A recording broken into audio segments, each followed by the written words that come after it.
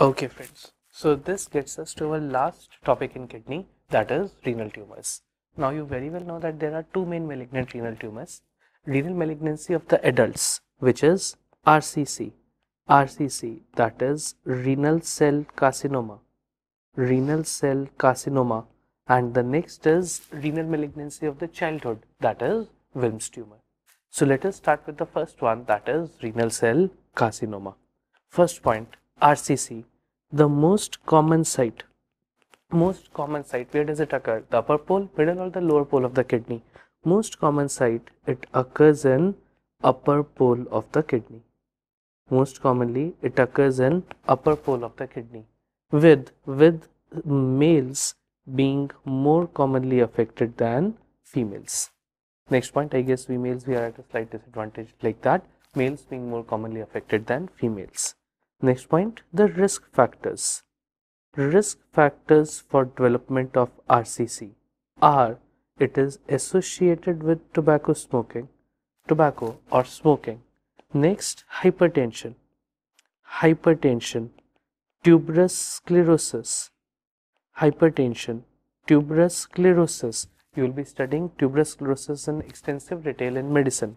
Tuberous sclerosis, estrogen therapy, estrogen therapy, asbestos exposure, asbestosis or asbestos exposure, please put a star on this, is also associated with RCC. From lungs, you very well know that the most specific lung malignancy with asbestosis is mesothelioma, whereas most common is adenocarcinoma lung. You know that. Let me write it for you. The most specific lung malignancy most specific lung malignancy with asbestosis is mesothelioma. Is mesothelioma whereas most common whereas most common is adenocarcinoma lung. Most common is adenocarcinoma lung. This we have already covered in lungs. What we are seeing here is asbestos exposure is also associated with rcc Next point, of course, it is associated with VHL mutations. VHL mutations. VHL stands for von Hippel-Lindau. VHL stands for von Hippel-Lindau mutations. These are the risk factors for development of RCC. Next point, next point, clinically. Clinically, RCC it is highly angioinvasive in nature. Clinically, it is highly angioinvasive. It is highly angioinvasive in nature, meaning it has a very high propensity to invade the blood vessels. It is highly angioinvasive and the most common site of metastasis, most common site of metastasis, please put a star on this, is the lungs most common site of metastasis is the lungs. Next point, next point. This gets us to our main point in RCC that is the subtypes. That is the subtypes of RCC. As a pathologist, this is the main topic I am concerned with subtypes of RCC. First point, if nothing is written, we mean the clear cell if nothing is written, we mean the clear cell or the conventional RCC.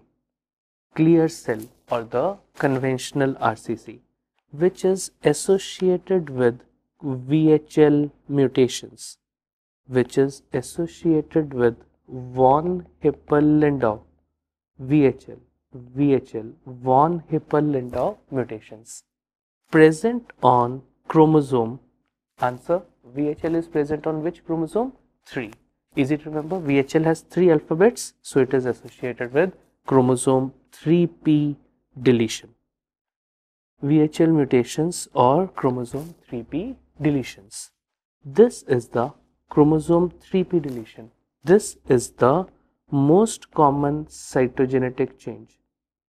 This is the most common cytogenetic change seen in RCC clear cell, the clear cell variant that is the VHL mutations. Next point, put a double star on this origin. Origin of RCC, origin of the clear cell variant of RCC, it originates from the clear cell variant, it originates from the proximal tubules. it originates from the proximal tubules. Extremely important. Extremely important. Next point. Clinically, clinically aggressive behavior. Clinically, aggressive behavior is more common. Aggressive behavior is more commonly associated with the clear cell variant. And lastly, lastly, gross. Let us have a look now at the gross and microscopy. The clear cell variant, grossly, it is well circumscribed. It is well circumscribed. That is, it is not that it is going to invade and will not have a clear cut boundary. No, it is well circumscribed, lobulated, lobulated golden brown tumor. It is lobulated golden yellow tumor. Lobulated golden yellow. This is the classical gross depiction of clear cell variant. Well circumscribed, lobulated shows the presence of lobulations and, and is golden yellow in color versus the microscopy. Versus the microscopy it is it shows the presence of nests or sheets of clear cells. It shows the presence of nests or sheets of clear cells with with delicate vascular network with delicate vascular network which is present interspersed. Now, as a UG student, I am not concerned in showing you the vessels which are present interspersed, but what I expect you to identify and mark is if there is presence of clear cells, nothing but the presence of clear cells, it is the clear cell or the conventional RCC. This was important. Next point. So before I go to the next one, let us have a look at what it looks like grossly. First, be unbiased, identify the organ. Kidney. It shows the presence of kidney with well-defined with well-defined lobulated mass. You are able to even appreciate the lobulations which is golden yellow in color which is golden yellow in color. So diagnosis RCC even a gross diagnosis of RCC is possible. We'll be confirming this on microscopy, which shows the presence of nests of tumor cells. It, these are present in nests with interspersed blood vessels. With interspersed blood vessels. Even if you are not able to appreciate the blood vessels, I'm okay with it but you are certainly able to see the clear cells which are present as nests or sheets. This is the clear cell, clear cell or the conventional RCC.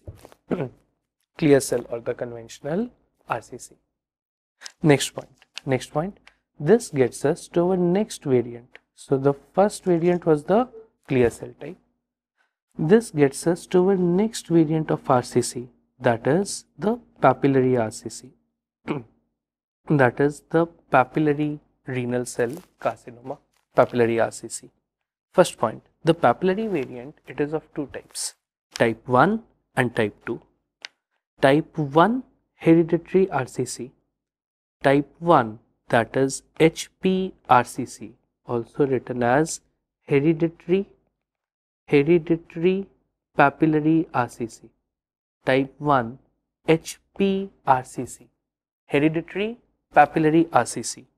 This, this and the next is type 2. Type 2 that is HLRCC. HLRCC which stands for hereditary leiomyomatosis which stands for hereditary leiomyomatosis, hereditary leiomyomatosis and RCC syndrome. And RCC syndrome. Don't worry too much about this. Has never ever been asked. this is just as a if it comes as a very tough uh, very tough question in the AIIMS paper or something this is for the seniors exclusively. Second years you don't even need to worry about this. Papillary RCC all it says is it is of two types hereditary papillary RCC and the one which is associated with leiomyomatosis I'm not even interested in telling you what is leiomyomatosis not required papillary RCC it is of two types what is important is in papillary RCC, first point, origin. Origin. This again originates from proximal tubule. this again originates from proximal tubule, the same as the conventional type. Next point, mutations associated. Next point, mutations associated. It is associated with activation of c-Met it is associated with activation of c-Met, activation of c-Met that is present on chromosome 7q, long arm of chromosome 7. Activation of c-Met, trisomy 7 and 17. Trisomy of chromosome 7 and 17.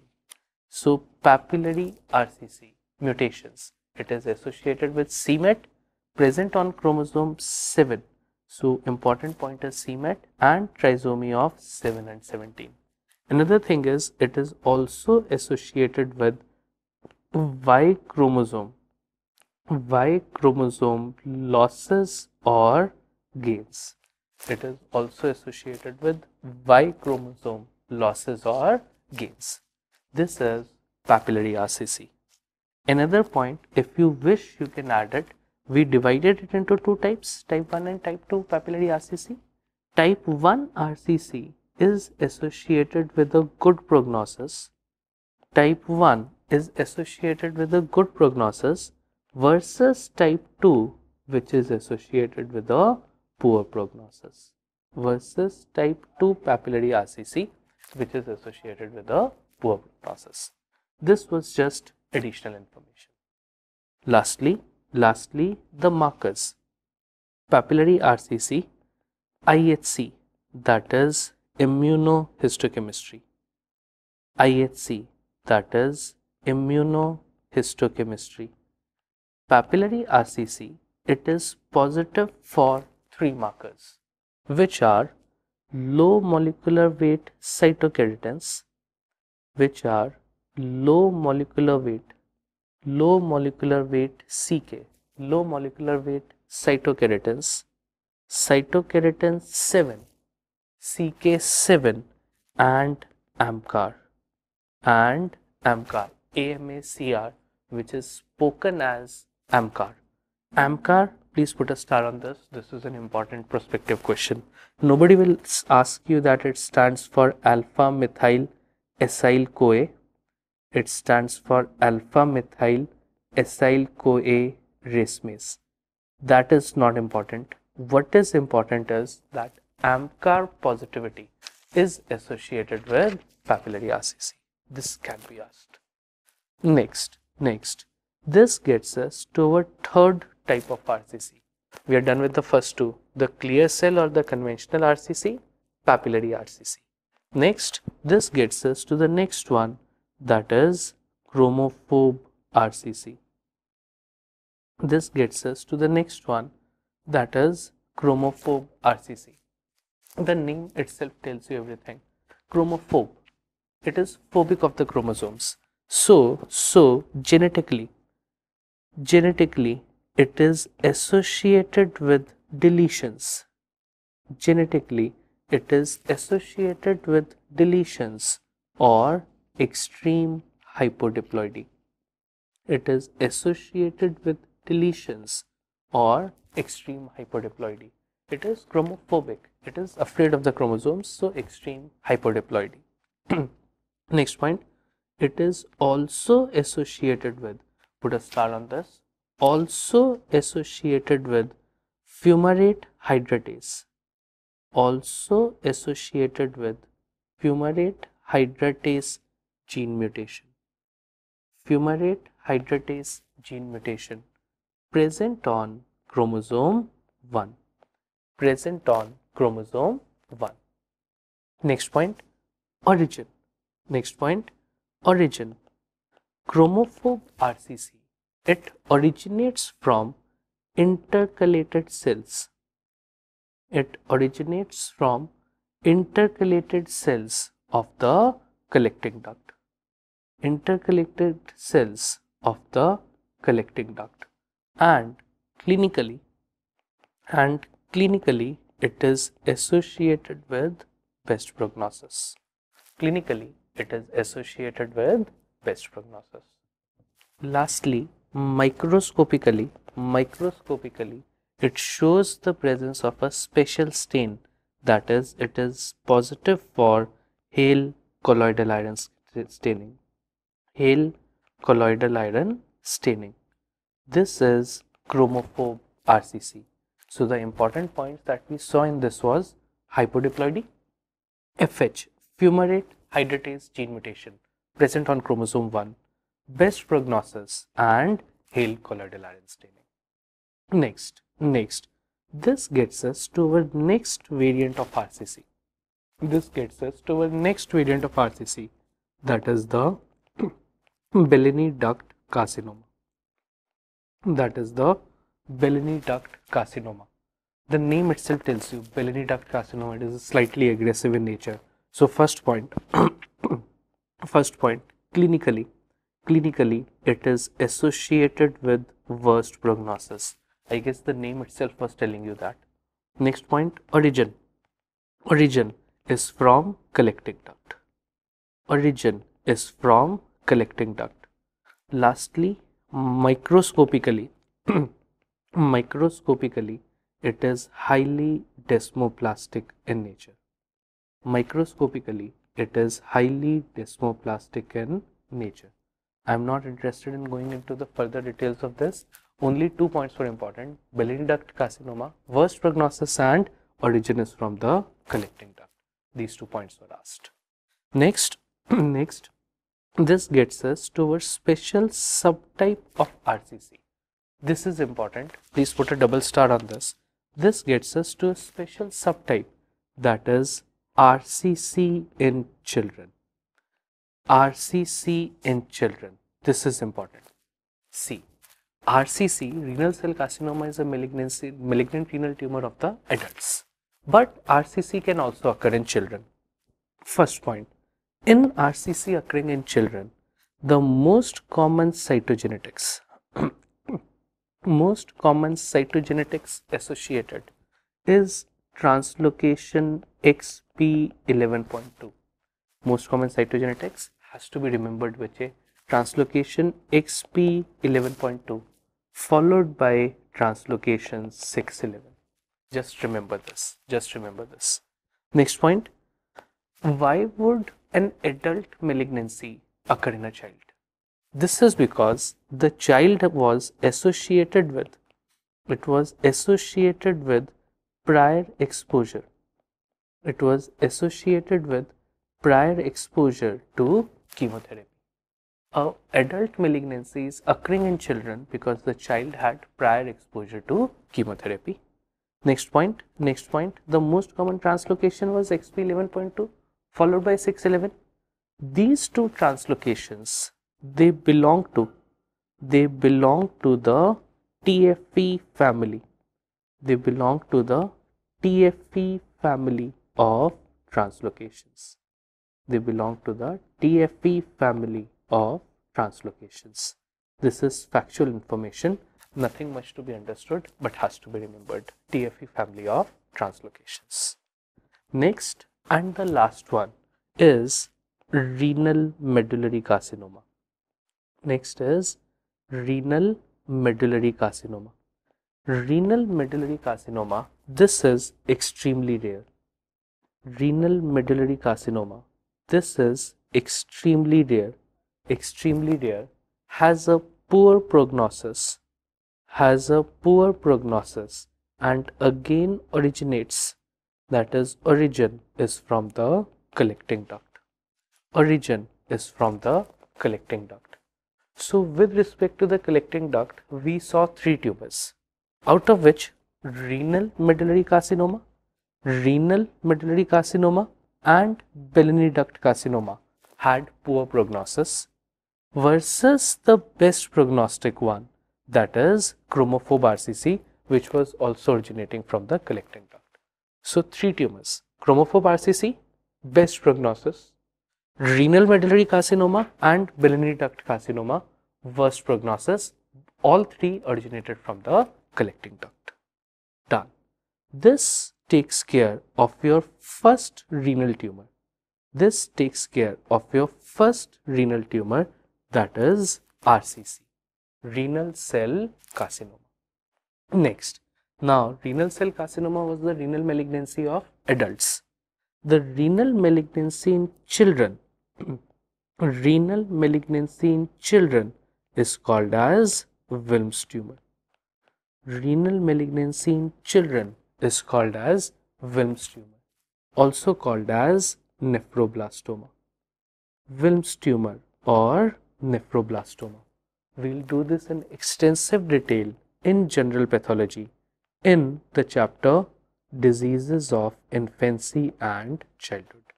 We'll do this in diseases of infancy and childhood. Done. This finishes one of your biggest topics and an important understanding based topic also in systemic pathology that is kidney.